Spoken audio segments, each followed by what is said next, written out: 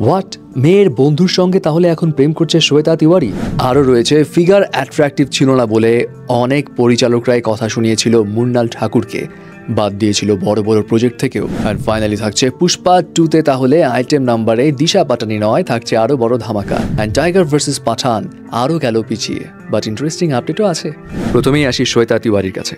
শ্বেতা তিওয়ারির তো দুই দুইবার বিয়ে হয়েছিল বাট আনফর্চুনেটলি সেগুলো একটাও টিকেনি। এবং তার এক ছেলে, এক মেয়ে আছে। মেয়ের নাম পালাক তিওয়ারি যেও বলিউডে ডেবু করতে যাচ্ছে real soon but the thing is এখন জানা যাচ্ছে, শ্বেতা তিওয়ারি তার থেকে আঠারো বছরের কম বয়সী এক অভিনেতা। বরুণ কাস্তুরিয়ার সঙ্গে নাকি প্রেমে মজেছে। এবং এই বিষয়টা ভাইরাল হয় রিসেন্ট একটা ছবি লিক হওয়ার পর। অ্যাকচুয়ালি বরুণ কাস্তুরিয়া নিজে থেকেই ইনস্টাগ্রামে শ্বেতা তিওয়ারির সঙ্গে একটা ছবি পোস্ট করে, যেখানে বরুণ কাস্তুরিয়া ছিল শার্টলেস অবস্থায়।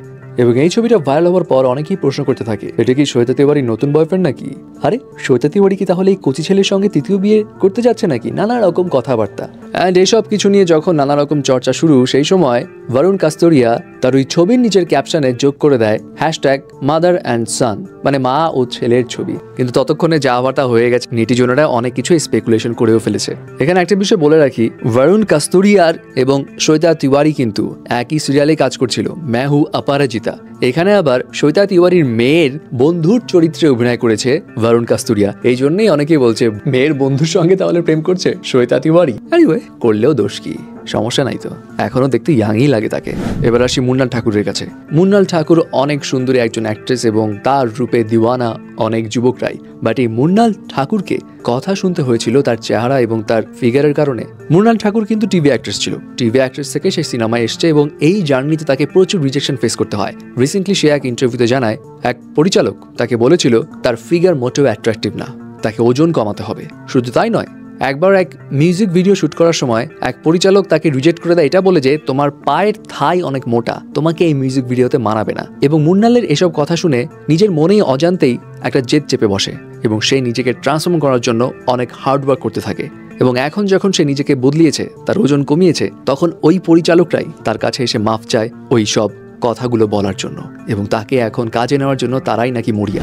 এবার আসি পুষ্পা টুতে আল্লু অর্জুনের পুষ্পা টু এ আইটেম সং থাকবে ফর শিওর কিন্তু এখানে আইটেম সঙ্গে কে পারফর্ম করবে? সেই সামান্তা রুত প্রাভুর নাম শোনা গিয়েছিল প্রথমে, সেই আবার আসবে। কারণ ওয়ান টাপার পর সে একটা আলাদা বেঞ্চমার্ক ক্রিয়েট করে ফেলেছিল। তারপর আবার শোনা গিয়েছিল না, দিশা পাটানি থাকতে পারে। কিন্তু এখন শোনা যাচ্ছে দিশা পাটানি না, নোরা ফাতেহি থাকবে। অনেকের মতে যদি সামান্তা রুত প্রাভুর উ আন্টাভাকে কেউ টক্কর দিতে পারে, তাহলে সেটা একমাত্র নোরা ফাতেহির মধ্যেই আছে এবং নোরাই থাকতে পারে শেষমেশ পুষ্পা টু এর আইটেম সঙ্গে। আর ফাইনালি আসি টাইগার ভার্সেস পাঠানে।